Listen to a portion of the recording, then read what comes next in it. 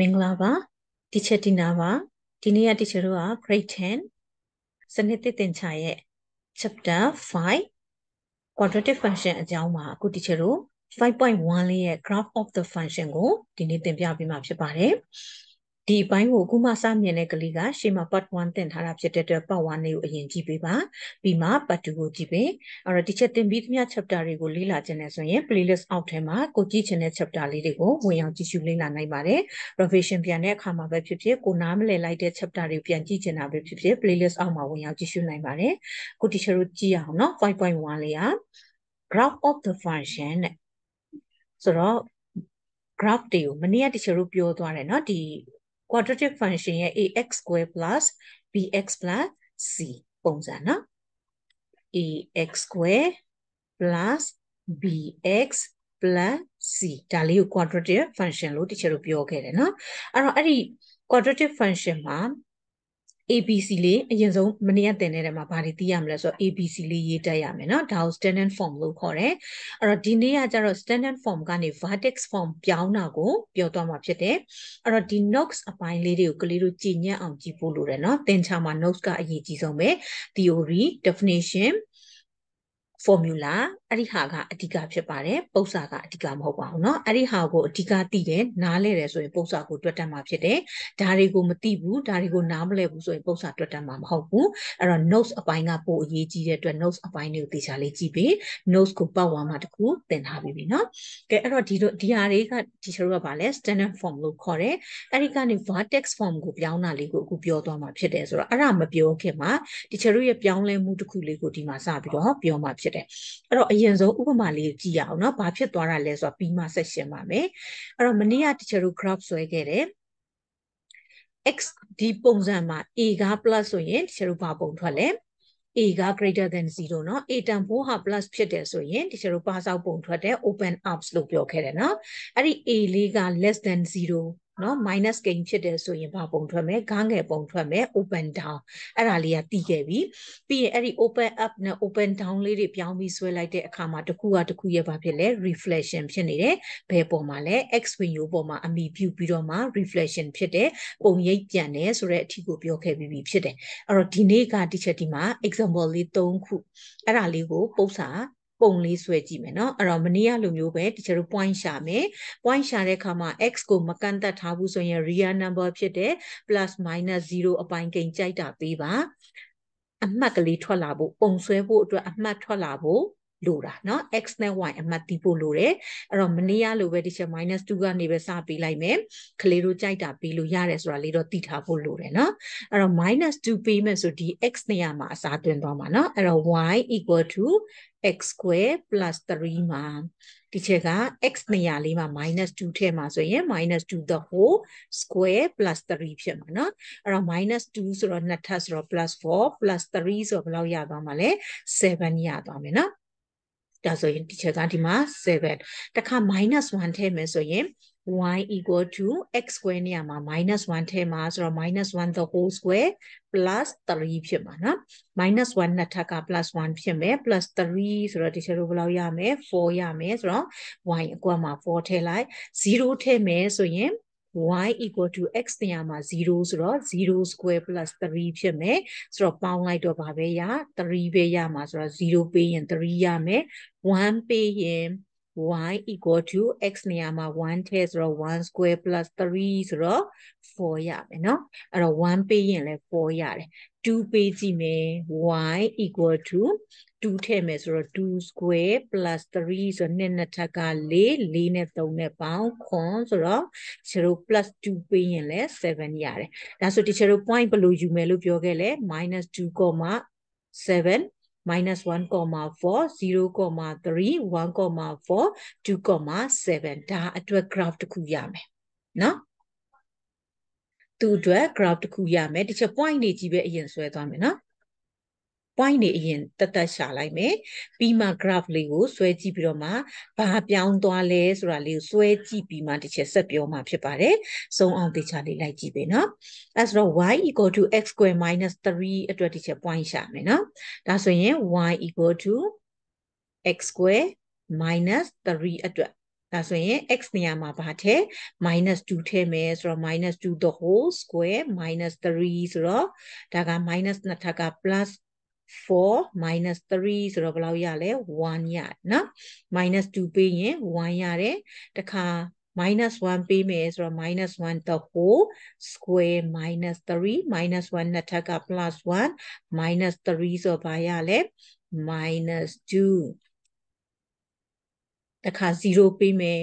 ဆိုတော့ y equal to x နေရာမှာ0ထဲ0နှစ်ထပ်က0ပဲထွက်မှာเนาะအဲ့ဆိုတော့ဒီချေတို့အဖြေဘယ်လောက်ရမလဲ -3 1ပေးမယ် y equal to 1 square minus 3 1ကနှစ်ထပ်တင်လဲ1 minus 3ဆိုတော့ဘာပဲထွက် minus 2တခါ2ပေးမယ်2ပေးမယ်ဆိုတော့ y equal to 2 square minus 3နှစ်နှစ်ထပ်က4 minus 3 equal to 1ရလားအဲ့ဆိုဒီချက်ရဲ့ point ဒီ point တွေထွက်လာပြီเนาะတခါနောက်တစ်ခု point အရင်ဆက်ရှာလိုက်မယ်ပြီးမှပုံဆွဲတဲ့အခါမှာဒီချက်ဆက်ပြောပေးမယ်เนาะ ဆိုတော့နောက်တစ်ခုအတွက် point ကိုရှာမယ်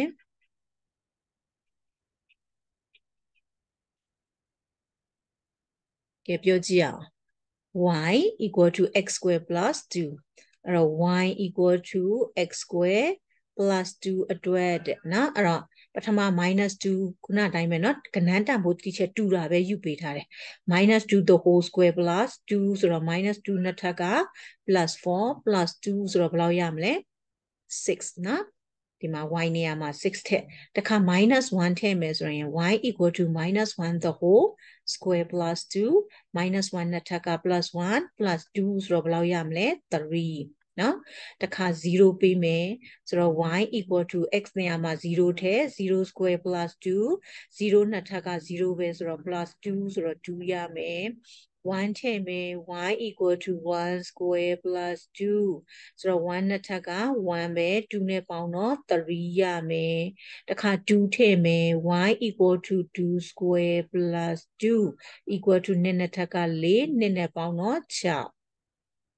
ဒါဆို teacher တို့ဘာရသွားပြီ point နေရသွားပြီကဲ point ရပြီဆိုတော့ပုံဆွဲကြည့်မယ်เนาะအဲ့တော့ဘာတွေပြောင်းလဲပြီးဘာတွေဖြစ်သွားသလဲဆိုတာလေးကြည့်ရအောင်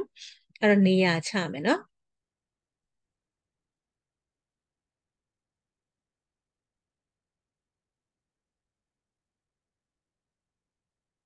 ကဲပထမတစ်တွဲ -2.7เนาะပုံမှန်ကြည့် -2 မှာထောက် x ကိုအရင်ထောက်ရတယ်เนาะ -2 မှာထောက်7ဆိုတော့အပေါ်ကိုတက်မယ်6ပြီး7ဆိုတော့ဒီမှာတစ်ကွက်เนาะ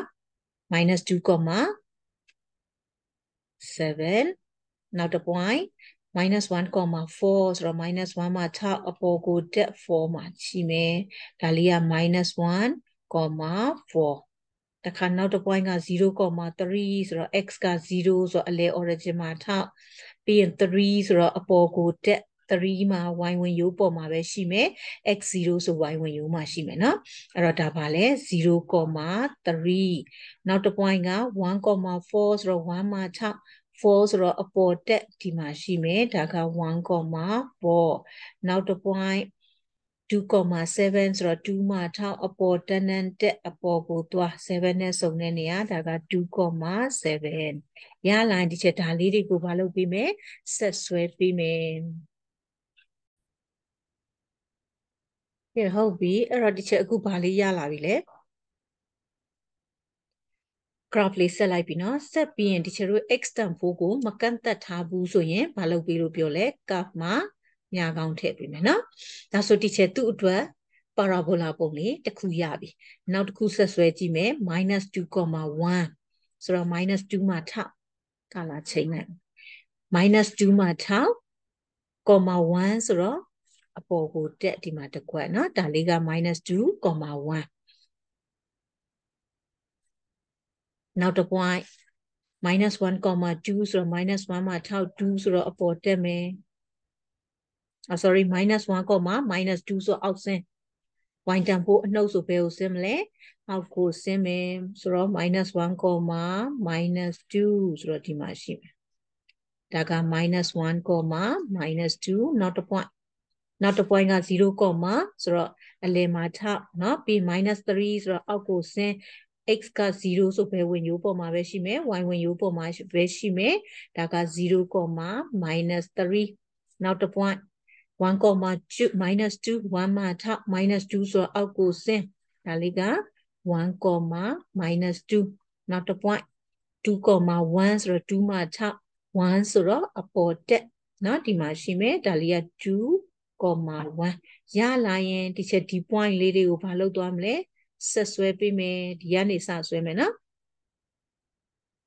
ဘယ်ကနေစဆွဲမလဲဒီကနေစဆွဲမယ်ဒီလိုလေးဘာလုပ်ပေးမလဲဆက်ပေးမယ် ရမလားကဲဟုတ်ပြီအဲ့ဆိုဒီချေတို့ပုံလေးဆက်ကြည့်မယ်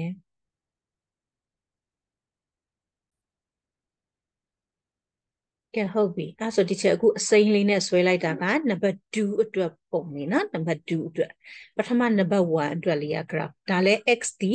ကန့်သက်ထားတာမဟုတ်တဲ့အတွက်ဗာထည့်ပြီမြာကောင်ထည့်ပေးမယ်ဒါကဘသူအတွက်တစ်ချက်ဆွဲတာလဲဆိုတော့ y = x square 3ရဲ့ graph အပေါ်ကကြတော့ဘသူအတွက်ဆွဲထားတာလဲ y = x square 3เนาะ y = x square 3အတွက်နောက်တစ်ခုကြံတယ်နောက်တစ်ခုဆက်ဆွဲပါမယ်ဆိုတော့နေရာချရအောင်เนาะ -2.6ဆိုတော့ x နေရာမှာ -2 -2မှာထောက်6ဆိုတော့ plus ဖြစ်တယ်ဘယ်ကိုသွားမလဲအပေါ်ကိုသွားမယ် ဘယ်ထိရအောင်သွားမလဲ -2 ကနေ6ကိုရအောင်သွားမယ်ဒါက -2.6 နောက်တစ် point -1.3 ဆိုတော့ -1 မှာ6 3ဆိုတော့အပေါ်တက်ဒါလေးနော်ဒီနေရာလေးဒါက -1.3 နောက်တစ်ခု x က0ဆိုတော့0မှာ6 y က2ဆိုတော့2မှာစုံမယ်ဒါက0.2 3 point ရပြီเนาะ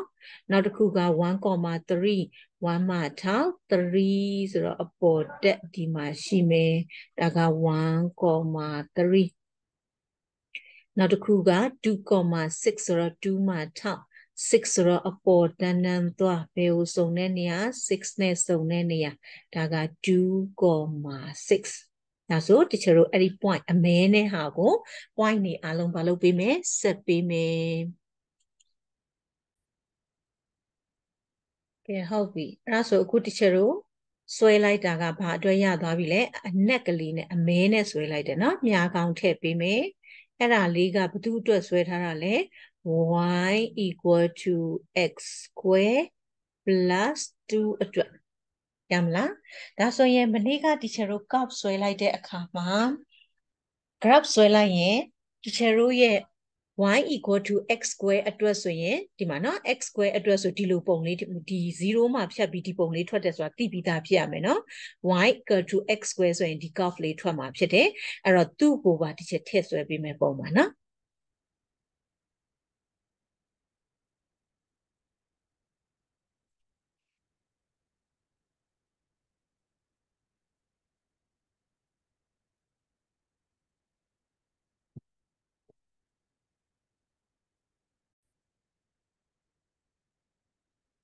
ကဲအဲ့ဒါဆိုအခုတစ်ချက်ဆွဲလိုက်တဲ့အဲမှာကလေးတို့ဘာပြောင်းလဲချက်ကလေးကိုတွေးလိုက်တယ်လေ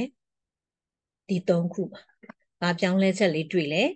တစ်ချက်တို့ရဲ့ဒီအနီနဲ့ကဘသူအတွက်ဆွဲထားတာလဲအနီနဲ့က y equal to x square အတွက်နော်ဒါကမူရင်း quadratic function ရဲ့ graph နော် parabola ပုံဖြစ်တယ်ဒါဆိုရင်အဲ့ဒီမှာအနီနဲ့ရဲ့ကြံတဲ့ဟာလေးတွေဒီဘလို့ဖြစ်နေလဲ သူ့ရဲ့ဒီ curve အတိုင်းပြောင်းလဲလားမပြောင်းလဲဘူးเนาะအနီနဲ့ရဲ့ပုံစံအတိုင်းကိုပဲတပုံစံတည်းကိုပဲဘလို့ပြောင်းလဲသွားလဲဒီအနီကနေအပေါ်ကိုရွေ့တယ်เนาะအပေါ်ကိုရွေ့တယ်ပြီးရင်ဘယ်ကိုရွေ့လဲအောက်ကိုရွေ့တယ်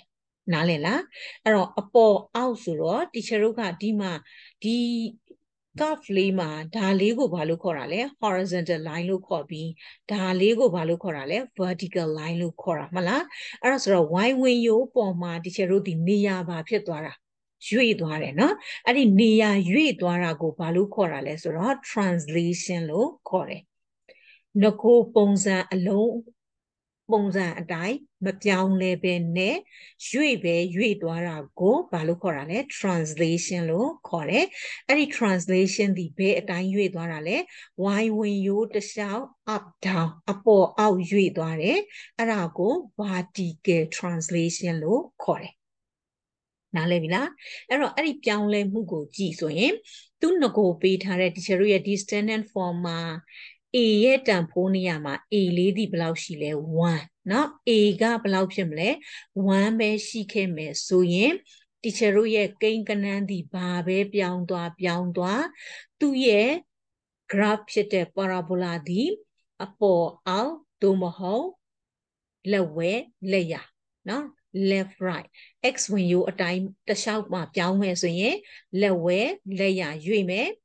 y ဝင်ရိုးအတိုင်းပြောင်းမယ်ဆိုရင် up နဲ့ down နဲ့ရွေ့မယ်လို့သိရမှာဖြစ်တယ်တဲ့အဲ့တော့ teacher တို့က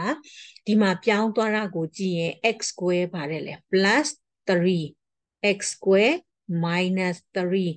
x square plus 2နော်ဒါဆိုရင် x square plus 3ဆိုရင်ဘယ်ကိုရွေ့သွားလဲ အပေါ်ရွေ့သွားတယ်ဘယ်ကနေလဲဒီအနီကိုကြည့်ရတာနော်အနီပုံလေးဒီသူ့ရဲ့မူရင်း y equal to s square ရဲ့ parabola ဖြစ်တယ်အဲ့ဒီကနေ up ဆိုတော့ဘယ်ကိုသွားလဲအပေါ်ကိုရွေ့သွားတယ်အပြာနဲ့ကနော်အဲ့တော့ plus 3ဆိုရင်ဘယ်ကိုရွေ့သွားလဲအပေါ်ရွေ့သွားတယ်